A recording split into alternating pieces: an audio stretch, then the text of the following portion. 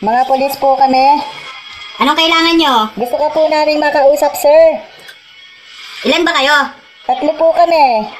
O, tatlo naman pala kayo eh. Ba't di kayo mag-usap-usap? Dadamay nyo pa ako eh. Tara na daw. Kanina ka pa dyan eh. Teka lang. Bagal-bagal mo eh. Nagpapaganda pa ako. Nakikita mo ba? Tanga kahit anong ganda mo, pagpapalit ka pa din niya. Tayo na lang dalawa